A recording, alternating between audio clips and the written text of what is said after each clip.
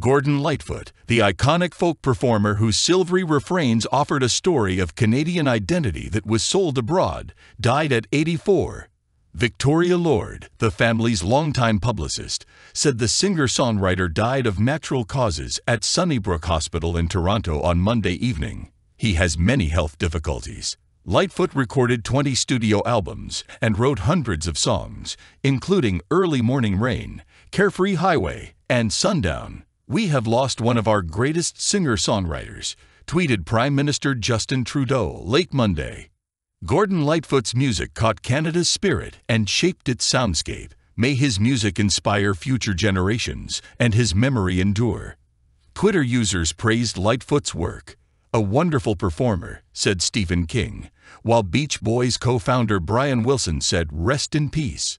Former Ontario Premier Bob Rae called him such a decent man and a musician with a magnificent tenor voice that will last forever, while Canadian astronaut Chris Hadfield stated his poetry and melodies are an eternal inspiration. Lightfoot's ageless songs, deemed rare talent by Bob Dylan, have crossed decades and genres. Elvis Presley, Barbra Streisand, Harry Belafonte, Johnny Cash, Anne Murray, Jane's Addiction, Sarah McLachlan, and most surprisingly, dance supergroup stars on 54 turned his classic, If You Could Read My Mind, into a disco pop curiosity for the 1998 movie 54. His lyrics are extremely autobiographical and tackle national identity issues. The 1975 song, The Wreck of the Edmund Fitzgerald, recounted a Great Lakes ore freighter's fate, and 1966 Canadian Railroad Trilogy dramatized the railway's development. I simply write the songs about where I am and where I'm from, he remarked. I write poems on situations. Lightfoot, a poetic storyteller, was mindful of his cultural impact. He took his duty seriously. I just like to stay there and be a part of the totem pole and look after the responsibilities I've acquired over the years, he stated in a 2001 interview. How does it feel to be an icon? He said modestly. It makes me feel like a human on earth. Lightfoot's parents recognized his musical aptitude early on, but he didn't plan to become a famous balladeer. He joined his church choir and wanted to play jazz. The soprano won Massey Hall's Kiwanis Music Festival Talent Contest at 13. I remember the thrill of being in front of the crowd, Lightfoot remarked in a 2018 interview. It helped me. My father drove. I did events everywhere weddings, clubs, the ladies' auxiliary. I played. The Collegiate Four, his high school barbershop quartet, won a CBC talent competition. He picked up a guitar in 1956 and started creating songs soon after. He failed algebra the first time, possibly distracted by music. In 1957, he graduated. The Hula Hoop Song, inspired by the trending children's toy, was Lightfoot's first serious piece by then. After failing to sell the tune, he studied music in the U.S. His hometown resort line and delivery job helped afford the trip. However, homesick Lightfoot returned to Canada. He worked at Royal Bank before becoming a square dancer on CBC's Country Hoedown. Fran's Restaurant, a downtown family-owned cafe, welcomed his folk music. He met guitarist Ronnie Hawkins there, who advised him to play at Steele's Tavern. Lightfoot was living with a few friends in a condemned building in Yorkville, a bohemian neighborhood where future stars like Neil Young and Joni Mitchell learned their craft in smoke-filled bars. He befriended local folk duo Ian and Sylvia, who became fans of his music and recorded two of his songs as his popularity rose. Remember Me, I'm the One was Lightfoot's 1962 radio debut, which led to several hits and collaborations with local musicians. That same year, Lightfoot became the Mariposa Folk Festival's most loyal returning performer. By 1964, he was getting positive word of mouth throughout town, which attracted Bernie Fiedler, proprietor of Yorkville's Riverboat Coffee Restaurant, who offered him double at one of Lightfoot Steele's performances. Lightfoot's song, I'm Not Sayin', became a Canadian smash the next year, helping him gain popularity in the U.S. Other artists' covers helped too. Marty Robbins' 1965 version of Ribbon of Darkness topped U.S. country charts, while Peter, Paul, and Mary's version of Lightfoot's For Lovin' Me hit the top 30. Dylan once remarked he wished he'd recorded the song, which hundreds have since covered. Lightfoot at the Newport Folk Festival the same summer Dylan shocked crowds by playing an electric guitar.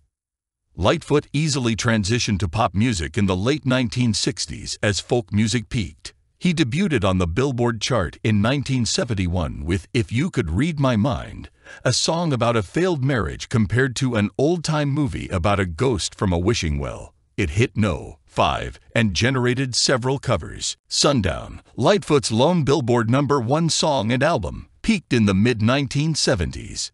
Lightfoot performed at Dylan's 1975 Maple Leaf Gardens Rolling Thunder Revue. After filming, he gave a party for the crew at his home, singing his folk contemporaries' ballad in plain D, which eventually appeared in Dylan's pseudo-documentary Renaldo and Clara.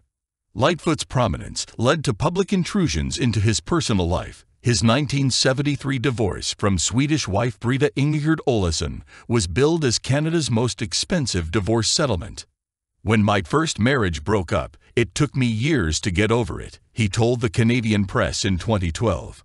My wife and kids were great, but the business ate me up. Women devoured me. I couldn't resist. Now, not then. Then it was alcohol, which is the biggest cause of trouble. Indeed, Lightfoot publicly struggled with alcoholism and other issues, particularly with the women who inspired his lyrics. His 1975 song, Cold on the Shoulder, is said to depict his broken relationship with Kathy Smith, a problematic ex-girlfriend who haunted him. Seven years after its publication, Smith was convicted of involuntary manslaughter for drugging comedian John Belushi to death. Tabloid coverage brought Lightfoot into the scandal. He despised being labeled a drug user because he dated Smith over a decade before her hard drug use. He felt obligated to help her recover. He offered her money and helped publish her memoir after her 1988 prison sentence. Lightfoot married Moon in 1989. In 2011, his second marriage ended with two children. He married Iowa-born Kim Haas three years later. Despite their 23-year age difference, Lightfoot and Haas were inseparable at public gatherings. It's actually quite surprising. I never thought I'd have a girlfriend again for as long as I've lived, he added. Haas, six children, and several grandkids survive Lightfoot. Lightfoot won 12 Junos, including a 1970 Gold Leaf, the 1960s RPM Awards, predecessor to the Junos, named him top folk vocalist four times. He was nominated for four Grammys, got an Order of Canada Award in 1970 at 32, and was elevated to companion in 2003. He was inducted into the Canadian Music Hall of Fame in 1986. He entered the Canadian Country Music Hall of Fame in 2001 and got the Governor General's Award in 1997. Lightfoot made his acting debut in the 1982 Canadian film Harry Tracy, Desperado, starring Bruce Dern and Helen Shaver. Later in the decade, he played a musician with alcoholism on Hotel, drawing from his own experience. His late career was plagued by health issues that hindered but rarely prevented live performances. He had an aortic aneurysm in 2002, slipped into a coma, and underwent two and a half years of recovery. His voice lost some of the starch after the health scare. He temporarily lost use of his right hand while playing guitar after a 2006 stroke. Still touring, he maintained his fitness with six-day workouts. Lightfoot discovered his own death when CanWest newspaper websites published the fake headline in early 2010. The media organization picked up social media buzz that was tracked back to a prank call to Lake musician and friend Ronnie Hawkins' management office. Lightfoot took the prank in stride, stating he learned of his death while driving home from the dentist. I was quite surprised to hear it myself. He laughed to CP24. Lightfoot completed 80 tours in one year six years later. His three alternate setlists were highly focused and ran two hours and five minutes each. In an interview with CP, he remarked, At this age, my challenge is doing the best show I can. I'm much better and take it more seriously. Touring cost him personally and left him with guilt in his latter years. I wasn't always the dad I should have been, he said of his absence from raising his six children. I've improved that for years. At 79, cigarettes, that is, he said in 2019. He returned to the stage four months later to reopen Massey Hall after a mid 2021 fall at home. Those shows started a year long tour. Due to unclear health issues, the singer's representatives canceled all forthcoming gigs in early April. Lightfoot's hometown installed a four meter tall bronze sculpture honoring him. He later received various local honors. I thought, why me? What have I done to deserve a statue, a very artistic work? He asked. To have a monument of this kind and the location here at the Mariposa Folk Festival, it's very appropriate. The Canadian Press published this item May 1, 2023. CP's David Friend. Funeral is still not announced.